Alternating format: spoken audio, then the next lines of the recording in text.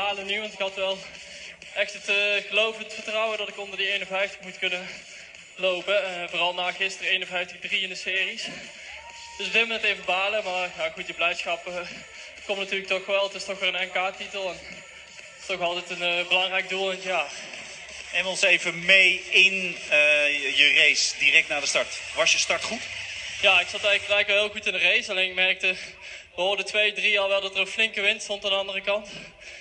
Dus uh, ja, dan weet je dat je daar even iets meer uh, energie moet leveren om goed uit te komen met je ritme. En, ja, dat, dat is eigenlijk heel jammer, want als ik daar iets makkelijker had door kunnen lopen, had ik denk ik echt uh, de laatste stuk iets, iets beter door kunnen trekken. En dan was het geluk, denk ik. Dus ja, goed, het voordeel is dat ik nu op vrijdag al een NK-finale heb. Dus ik ga aanstaande zondag in Brussel nog een poging wagen. En ik denk, het zit er zeker in. Dus ja, ik denk dat ik uh, zondag er wel onder moet kunnen duiken.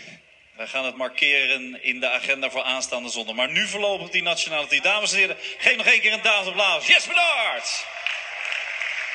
En dan kijken naar de resultaten van deze finale.